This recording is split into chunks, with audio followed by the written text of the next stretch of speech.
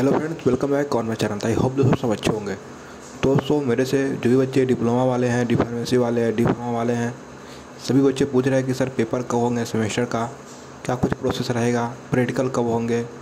तो मैं इस वीडियो के अंदर सब कुछ आपको शेयर करूँगा कि जो diploma D pharmacy D pharma का पेपर कब होंगे प्रैक्टिकल कब होंगे, ठीक है?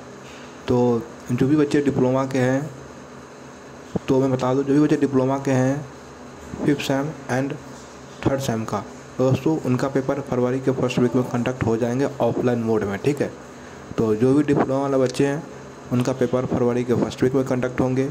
दोस्तों, मैं नहीं बता रहा हूँ एच एस बोर्ड अपना ऑफिशियली वेबसाइट पर दो मंथ पहले अपलोड कर दिया था।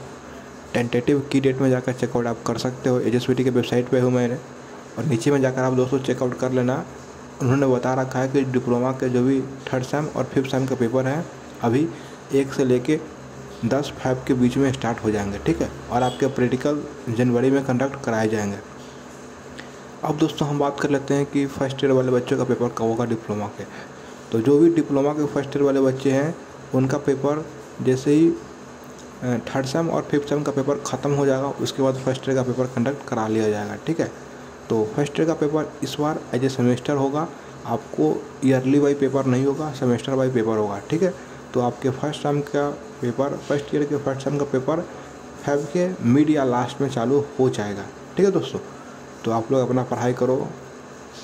मज़े में अभी टाइम है आपके पास और आप लोग प्रैक्टिकल का भी जो है प्रिपेयर करो। प्रैक्टिकल आपको जनवरी में कंडक्ट हो जाएँगे। So thank you